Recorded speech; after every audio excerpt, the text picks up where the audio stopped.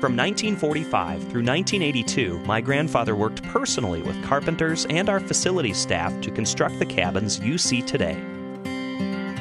Each cabin has a spacious and bright bunk room with bunk beds, a fireplace, a bathroom with running cold water, and a private room for the counselors. Ready? But ready,